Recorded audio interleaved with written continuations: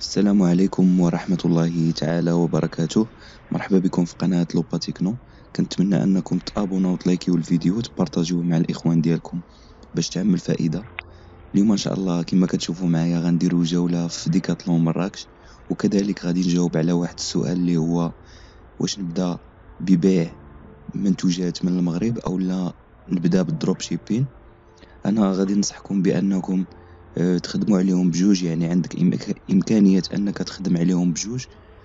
eBay كتعطيك الحق أنك تحل تمنية ديال les accounts في eBay وتليهم PayPal واحد.